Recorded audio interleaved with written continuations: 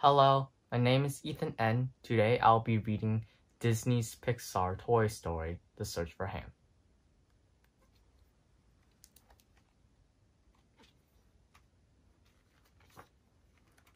Woody the cowboy doll opened one eye, then the other. The sun was up and Andy had already left for school. Since the house was quiet, Woody knew that it was safe for the toys to move around. Woody sat upright and stretched. Good morning, he called out. He dropped off Andy's bed and walked around the room, greeting the other toys who were awake. How you doing, Buzz?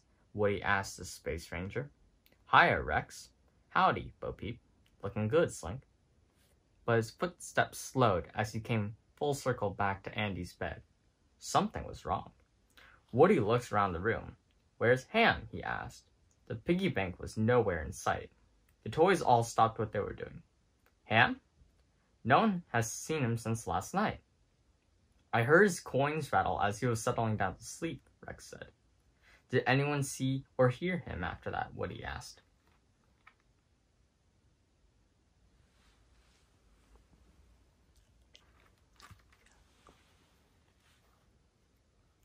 Each toy thought for a minute. Then slowly, they all shook their heads. No one had seen Hamm. Buzz jumped to his feet. We must form a search party, he said. Remember that time Slinky fell behind the dresser and we didn't find him for two days? That was scary, Slinky Dog piped up. Something like that may have happened to Hamm, Buzz went on.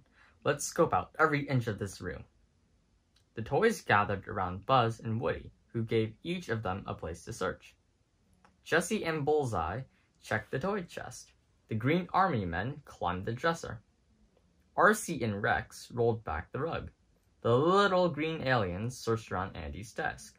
They even climbed into each drawer to make sure Hamm hadn't been closed inside. Woody and Bo Peep looked under the bed. Bo Sheep went over to the dark corner where the bedspread bunched up.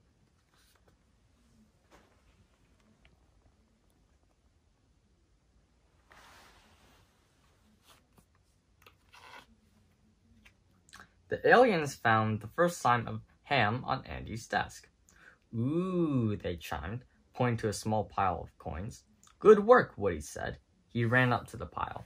Had Hamm lost his coins? They could have just fallen out, or they could have been loose change that Andy hadn't put in his piggy bank yet. The toys gathered around Woody, waiting to hear what they should do next. How could Hamm have lost his coins? Jessie asked. What if Andy doesn't want a piggy bank anymore? Rex cried. Now hold on a minute, Woody said. He didn't want the other toys to panic. These couple of coins don't mean anything yet. We need to keep looking.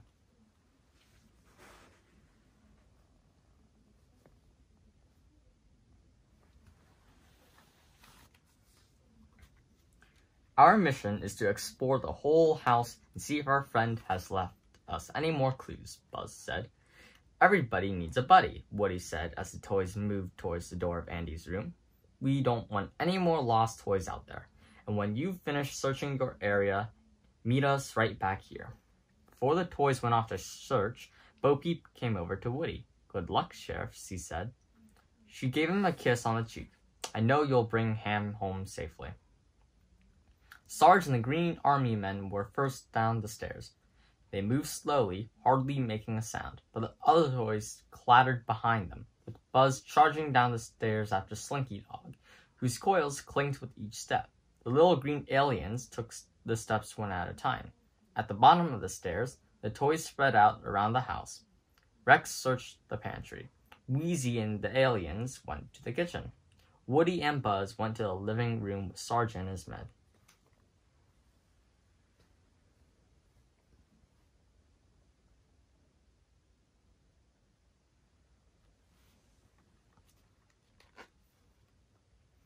Before Woody and Buzz could begin to search the living room for clues, they heard a cry.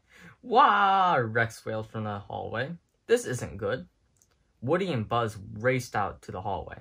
They saw the dinosaur standing beside a pile of coins, three pennies and a quarter. At first, Woody couldn't see anything different about this pile. Then he bent down to pick up a coin. They were wet. What is it? Buzz asked as Woody turned the coin over in his hands. Do you think it's dog slobber? What? Rex cried. You mean Buster took Hamm? Oh no, I always knew that dog was out to get one of us, and now he has. Oh, poor Hamm. Calm down, Rex, Woody said, trying to stay calm himself.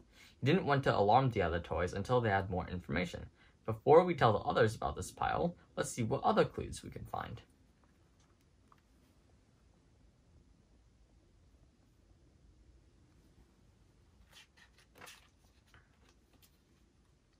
Woody walked into the living room with Buzz and Rex. Any signs of Hamm? he called out. Sir, yes, sir, Sarge responded. He and his men were on the couch. The troops had found a trace of the missing in action toy.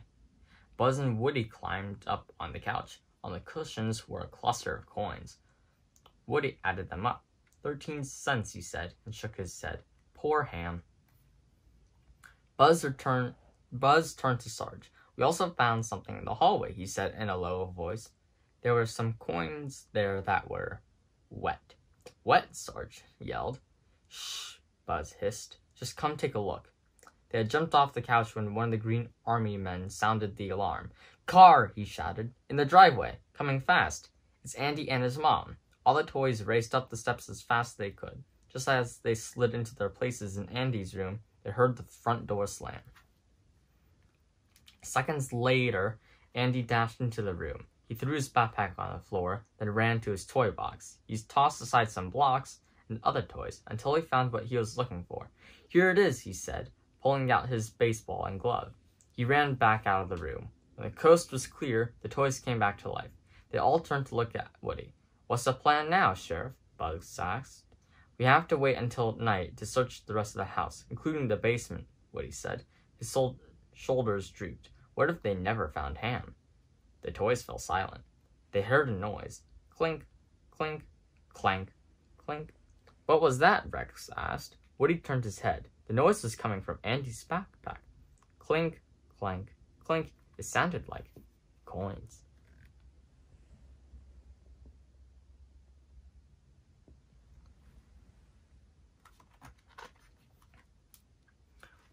Woody rushed over and unzipped the backpack. Out tumbled Hamm. Hamm, Woody said. What were you doing in there? Andy took me to school to collect money for a soccer fundraiser, Hamm said. He gave a proud rattle. Just listen to all that change. This is one happy pig. But we thought you were in trouble, Buzz said. There were piles of coins all over the house. Oh, that was just Andy playing, Hamm replied. He was tossing me in the air like a baseball when we left this morning. And Buster was following us, drooling everywhere. That dog needs some toys. Well, it's sure good to have you back, Woody said. Andy's room just wasn't the same without you.